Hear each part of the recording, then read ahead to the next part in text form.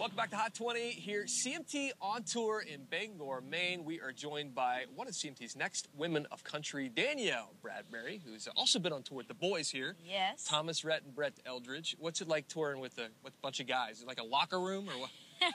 Sometimes it can be like a locker room, but they're like my big brothers, so it's constantly something fun going on. Yeah. Yeah, so it's awesome. It must be fun to hit the stage and open up for these guys. I, I think of you as not only season four winner of The Voice, but kind of like a big voice and a little nugget. Like you're like a little nugget with big pipes. Seriously. You got nugget. such a great voice. Oh, thank you.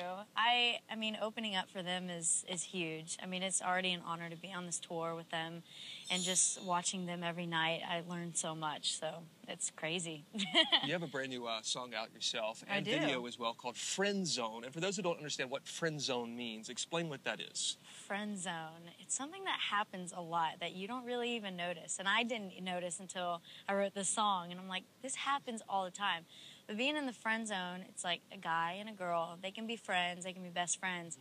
And the guy might start liking the girl, but the girl's like, oh, I just see you as a friend. She just put him in the friend zone. He's like, oh my God, this is not what I wanted to happen. so it's like, oh man.